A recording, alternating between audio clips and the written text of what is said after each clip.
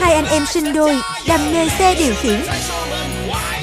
Cùng bị cuốn vào một cuộc đua gay cấn.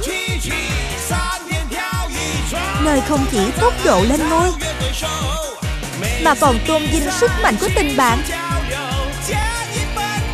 Đón xem bộ phim hoạt hình vui nhộn, hấp dẫn, siêu xe thần tốc, lần đầu tiên phát sóng tại Việt Nam lúc 8 giờ 30 thứ bảy và chủ nhật hàng tuần từ ngày 2 tháng 3 2014 duy nhất trên kênh LED Việt.